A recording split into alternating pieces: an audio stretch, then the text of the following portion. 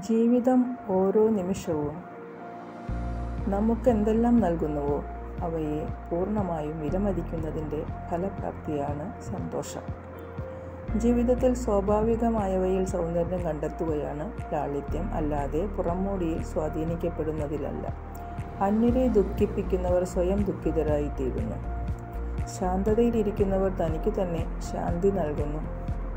ക്രോധമുക്തമായ ജീവിതത്തിന് ശാന്തിയും ക്ഷമയും അനിവാര്യമാണ്. നമ്മുടെ വാക്കുകളും പ്രവൃത്തികളും നമുക്കും മറ്റുള്ളവർക്കും ഒരുപോലെ ഗുണം ലഭിക്കുന്നതായി മാറുമ്പോഴാണ് ജീവിതത്തിൽ സന്തോഷം കടന്നു വരുന്നത്.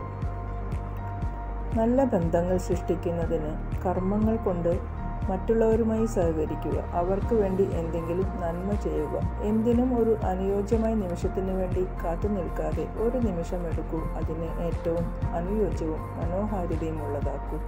തെറ്റായ തീരുമാനങ്ങൾ എടുക്കുന്നതിലും അപകടകരമാണ് ഓരോ തീരുമാനവും യഥാസമയം എടുക്കാൻ കഴിയാതെ വരുന്നത്. ശുഭചിന്തയോടെ ജീവിതം സമ്പന്നമാകട്ടെ. ഏവർക്കും ശുഭരാത്രി.